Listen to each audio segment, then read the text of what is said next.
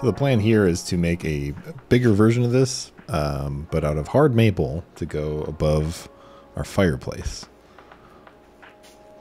So this is a panel of six quarter hard maple. Um, it's a panel. I, the only interesting thing here is that I didn't do biscuits or dominoes or anything because I didn't really know how deep I was going to carve it. And I didn't need to scrape off the glue because I'm about to take an angle grinder to it, but you know. I figured out with a big piece of paper what the right size would be to fit in that spot, and it would end up being 48 inches wide by 20 inches tall.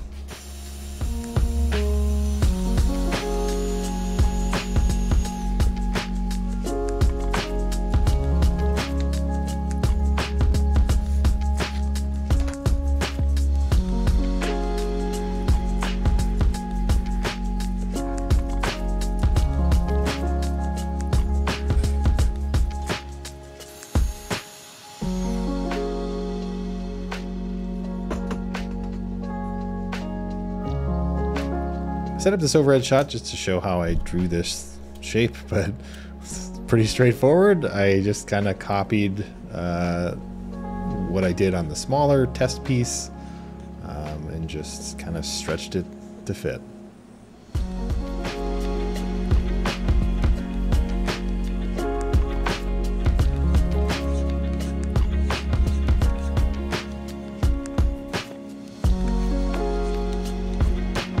Also went over the lines here with a sharpie just so I knew where uh, where the lines were when I started grinding everything because I knew it was just going to be a mess.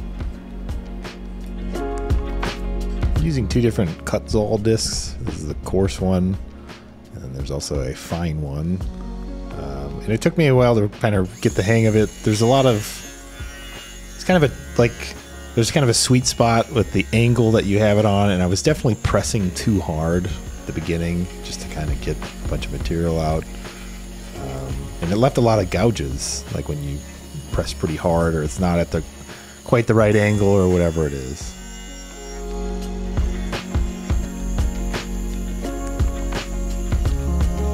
It was right around here where the angle grinders started getting extremely hot and just kept shutting off and it took me a minute to realize that the battery powered one was just not meant to run for a long period of time.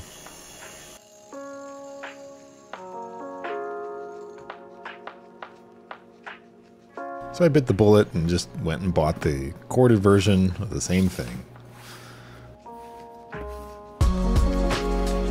That ended up being the right move because it was smooth sailing from there.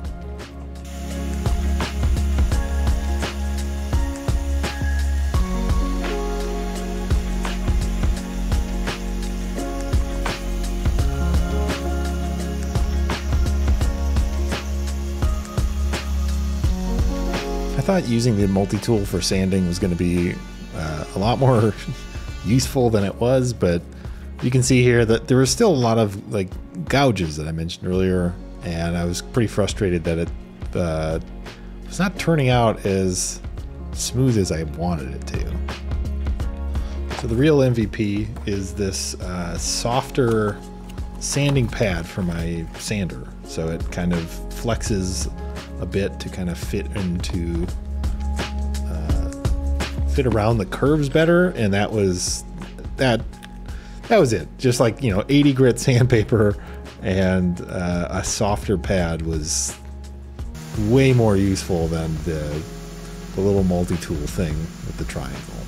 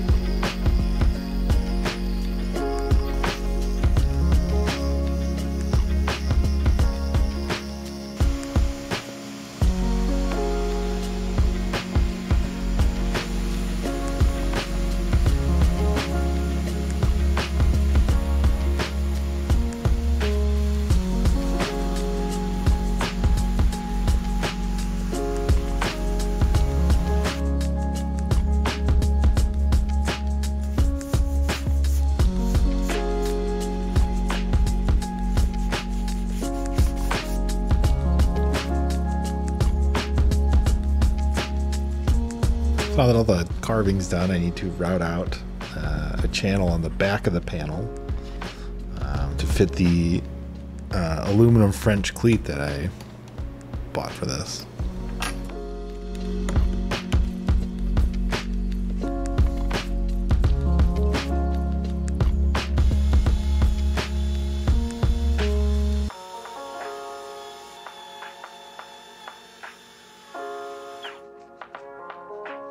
Now it is. Uh, I it just I had to clean the shop because it was just sawdust and all these chips absolutely everywhere. This might be the dirtiest my shop has been, uh, well, at least since the time I made uh, dowels on the table saw, where there was three inches of sawdust covering my feet.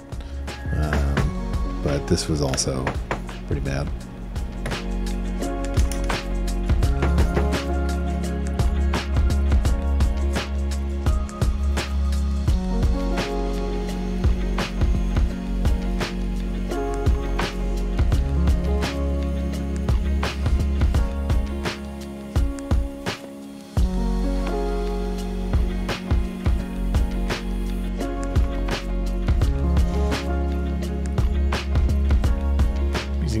Rubio Monocoat cleaner, which I'm pretty sure is doing something, but uh, I'm not re- I guess I'm not really sure uh, what it is, which is a ringing endorsement for that product.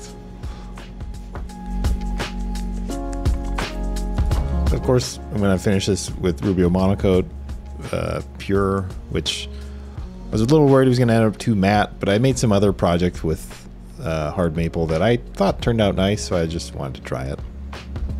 I have these white Scotch, you know, it's the Scotch pads, or abrasive pads, but they're specifically cut for this six inch sander, which is handy.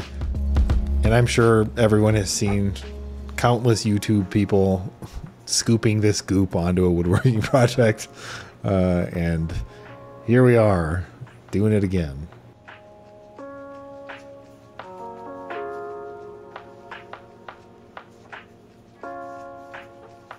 And then, of course, using my sander to buff in this, um, which always produces a super nice finish.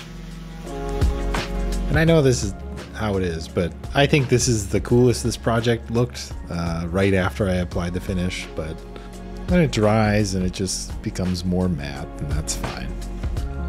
Last piece of setup is just uh, drilling and screwing in the um, aluminum French cleat on the back of the panel.